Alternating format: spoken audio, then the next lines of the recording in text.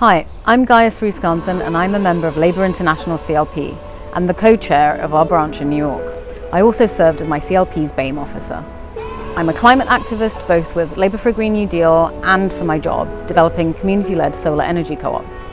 I led my CLP's Green New Deal campaign and negotiated the final motion at conference last year as a delegate. I'm also a member of the Democratic Socialists of America and organised their members to phone bank for Labour during the election. I also organised our members to campaign for Bernie Sanders and other socialist candidates in the US. This kind of tangible transnational solidarity makes both our movements stronger. I joined Labour because I believed in Jeremy Corbyn's vision of a truly democratic socialist party driven by grassroots membership. Momentum was supposed to be a vehicle for that change, but it's lost its way.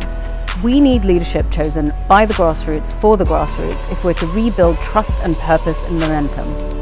If elected, I and my fellow Forward Momentum candidates will deliver our plan to reform Momentum and turn it into an engine for organising in communities and the workplace.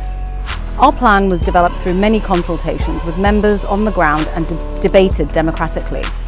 We need to organise from the ground up but problems like labour rights for workers and big companies and the climate crisis can't be fixed in the UK alone.